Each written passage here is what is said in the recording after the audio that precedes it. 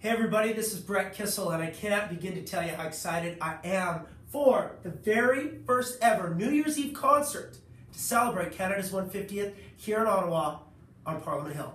You guys don't want to miss it. It will be the party of all parties to kick things off into high gear for what is going to be an incredible year for Canada and an incredible night on New Year's Eve. We'll see you guys, Parliament Hill, New Year's Eve, Ottawa. You don't want to miss it. Thank you. Merci beaucoup.